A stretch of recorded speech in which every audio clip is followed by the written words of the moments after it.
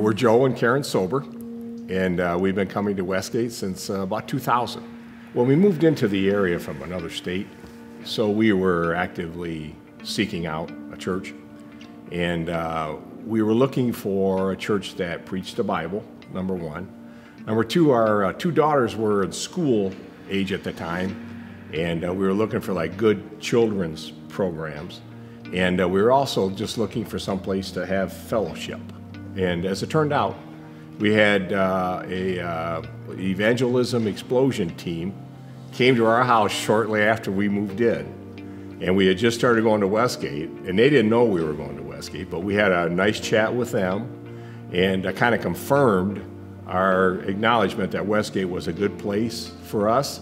And then it led to getting started in a small group, a life group, back in 2000 at that time. And that life group actually stayed together for like 18 years or something like that until most of us moved away.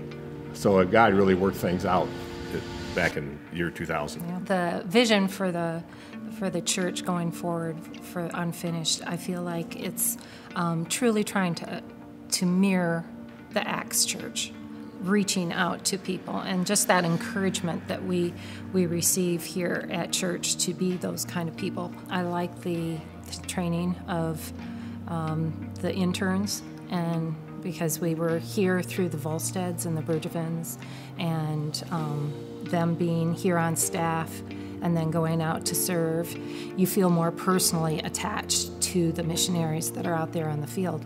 And so I think this program of having the internship with people coming in and learning here first and then going out into the field, whatever it would be, planning a church or out on the mission field. I think it'll give us some more, it's, it's a higher accountability and your higher uh, involvement, even though when it's not something that your hands are personally involved in, but you're you're attached to those people. You have a face to go with projects that are going on around the world. I think it makes a big difference in how you are financially involved with them and personally involved with them. So. I like the fact that we set some priorities with the unfinished initiative, meaning the number one priority, meaning paying off our debt. And I'd just gone through Financial Peace University, so I had kind of a feel for, you know, the fact that debt is a good thing to get rid of. I was part of the generation that took on the debt when we built that atrium, and I think it was the right thing to do. It's been a blessing to all, many, many people that have used it. But I'm also, I think it's our responsibility as being part of this generation to not leave it to the next generation. So I think it's the right thing to do, and we think about our, our legacy and what we want to leave the next generation. I think we should strive to leave them debt free. And because we had those priorities, I thought, you know, this is one initiative that at least has got a roadmap. So, in that respect, I could get behind it. We have a friend that's walked with Christ for a lot of years. And this individual said, This is the first time I've ever tithed. And seeing how that moved in their heart was um, it's just a testimony to God's Spirit. That's a uh, real encouragement to know that the Spirit of God is at work in your congregation and that they're not just sitting there letting the words go in and out.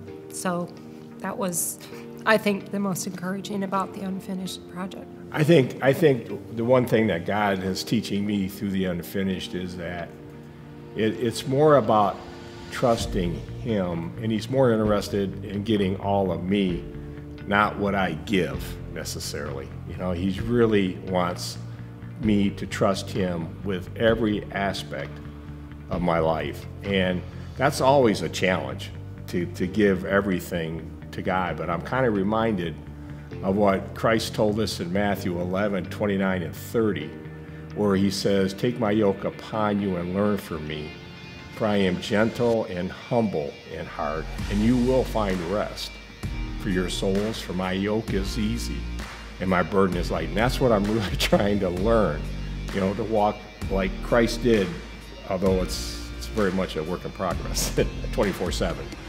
But that's what he's taught me. It's not about money, it's not about giving, it's about giving my life to God.